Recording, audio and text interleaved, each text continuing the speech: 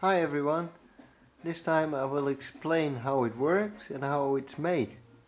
So let's start first with this switch. That's the main power switch. I just put it on and it gives us 12 volts from the adapter in the wall.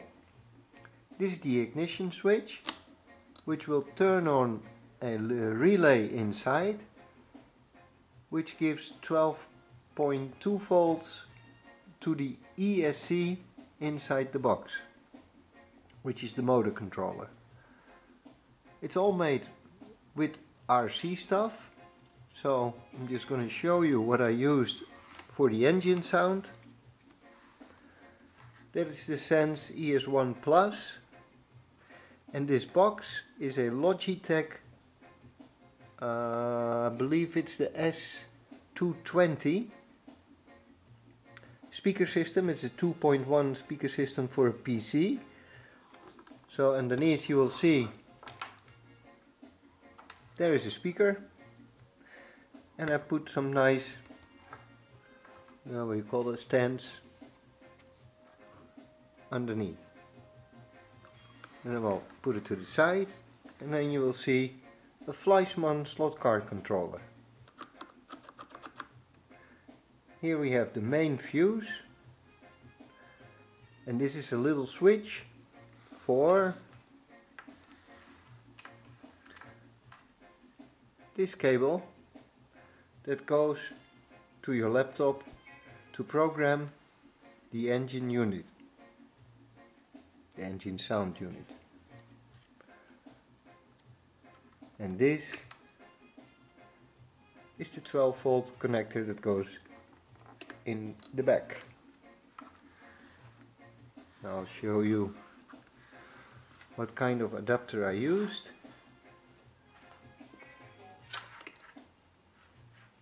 And that's this one. It's a 12 volt 2.5 amps. So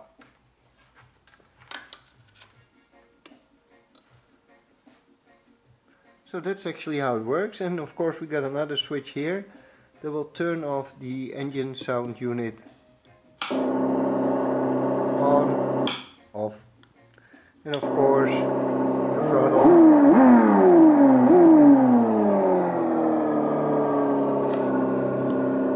engine sound you can change because you can program two engine sounds in this unit. And if you want to change it to the other sound you just press or hold the minus button.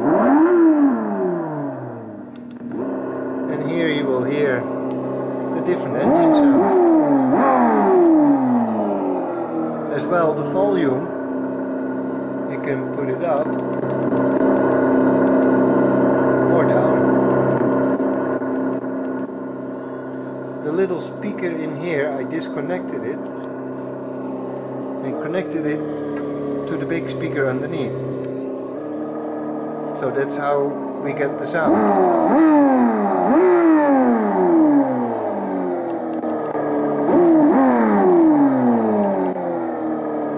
So let's turn that off. Now I'll show you the top. We got uh, two meshing strips and a 124 scale wheel with some foam underneath that will uh, and it has an axle 3 millimeter axle that goes inside and underneath there it's a big uh, gearing wheel with a washer on top so that it will slide. The wheel will slide up and down and the foam underneath the wheel will give it some resistance and here you have a carbon plate carbon fiber plate. And underneath is actually um, yeah the top of the casing of the Tamiya speed checker which has all the components underneath it like the gearing and the sensor and the wheels. And actually that that uh, I cut it out from the Tamiya speed checker and glued it underneath this carbon fiber plate and then cut out the square holes. I'll show you some components I used. over here we have the ES1 I already opened it up so I'll take this one out. Over here we have the 12 volt cable and this is a three wire cable actually this one has four but this is more for an RC car to do your yeah uh, it's an aux auxiliary cable for like a horn or something like that. But we're going to use these three wires the white one the red one and the black one. And I opened yep this is inside the ES1 I disconnected it the speaker wires from the speaker I took the speaker out and I connected these two wires to the big speaker of the box. For a connection I used from the ES1 this T-plug. If you desolder it you have two plugs, one male, one female and I connected it with some extended wires to this side to the module and the other side to the speaker. So this is actually a similar case of speaker box from Logitech. It's a different size but as you can see it's very nice finished. Very strong. So it's a nice box to build stuff in. Like a dyno bench or something like that. I took all the electronics out of the box from Logitech, so that's why this one is empty as well. And I used the speaker. Just the, yeah, the only thing I used was the speaker in the casing. This little speaker from the ES1 I used for the Tamiya speed checker because the Tamiya speed checker has a little speaker and if you you know use this one you get a better or a stronger beep From the Tamiya speed checker casing I cut the front out so I have a template for the display.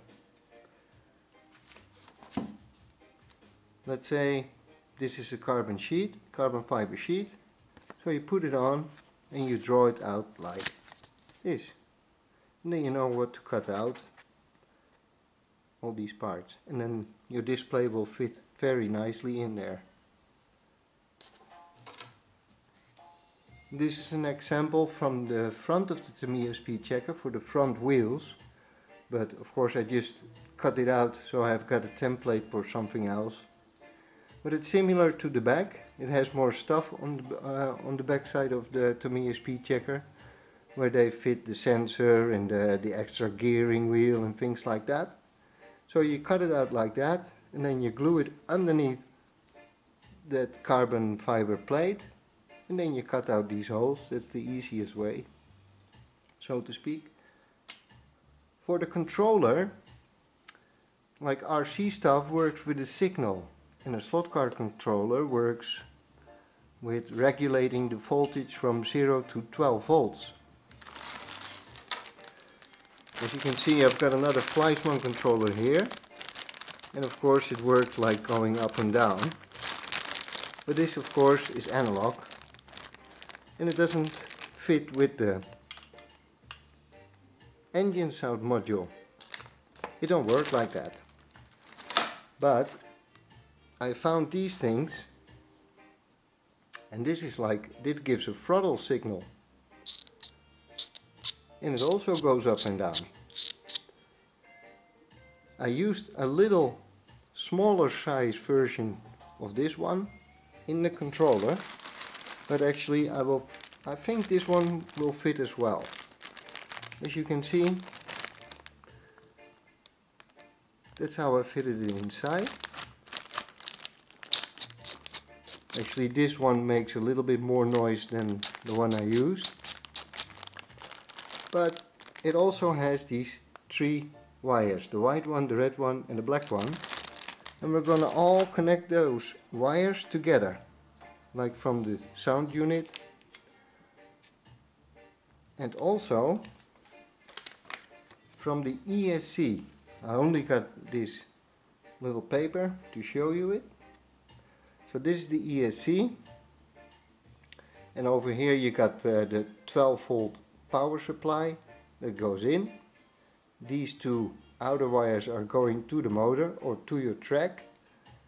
And here is that uh, a switch and the three wire cable similar to this one. So we're all going to connect them together.